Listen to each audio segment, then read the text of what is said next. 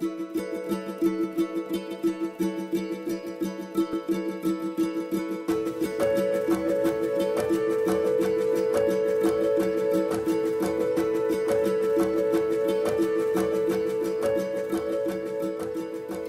meet the climate challenge in the next 10 years, we cannot rely on incremental measures. We can't just push harder on what we're doing today. We really have to take a systems view and look for opportunities where we can start to trigger events that will deliver positive reinforcements, feedbacks, changes of the sort that we've seen with the growth of wind, solar, the steep declines in prices for emerging technologies, that come from globally scaled manufacturing. When we think particularly about those areas where different parts of the energy system come together, like in cities where people drive and people live in and work in buildings uh, and it's all powered by electricity, that's exactly where we need collective action because every sector has to work together to come up with solutions that are viable.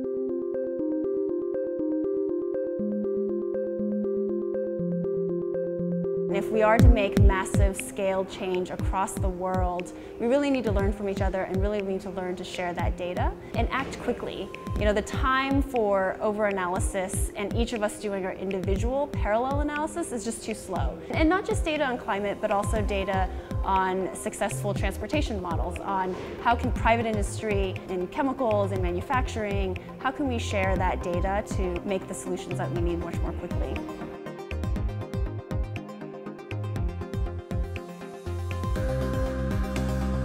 India's leadership in clean energy will come essentially from the frugal innovation that will happen in India.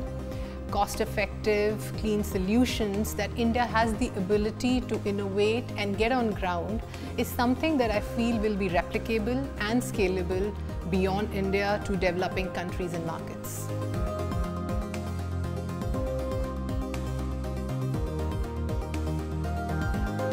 In order for us to solve climate change, the first thing that needs to happen is for the electricity sector to take over the energy sector. Electricity at this point has the clearest path to being zero carbon itself or close to zero carbon. That's the first thing is making sure that we electrify everything.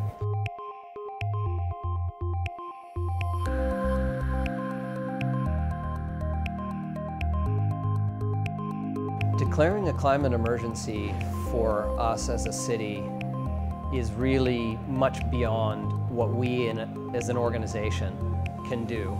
We're $1.5 billion annual budget, we have 10,000 staff, and we can't do this by ourselves. We need the business community, the nonprofit community, and then empowering them and engaging them to do more in their own lives.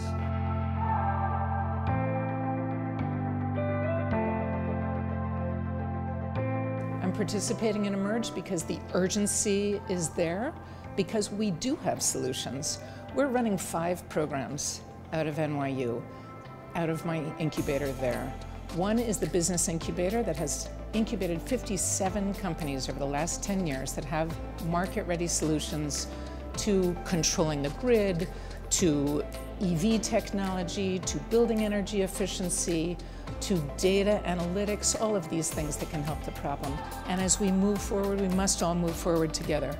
We should not think of this as a competitive endeavor. It makes me happy to help young entrepreneurs to succeed and to get watts off the grid and GHG out of the atmosphere every day.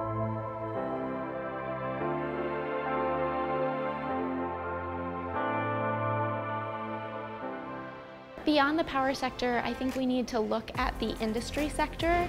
Um, it's great to see that is a focus area of the Seven Challenges report. We have to think about the way that we make all the stuff that we use in society and make sure that we're doing that without releasing greenhouse gas emissions. And there's incredible innovation demonstrating that it's possible to make steel and cement and chemicals without emitting greenhouse gas emissions and still getting the same level of service. On the industry side, there's some really interesting policies that have been emerging around buying clean products. Government procurement programs create a sheltered market for zero carbon industrial goods in the same way that You know, 20 or 30 years ago, we were creating a sheltered market for renewable energy technologies.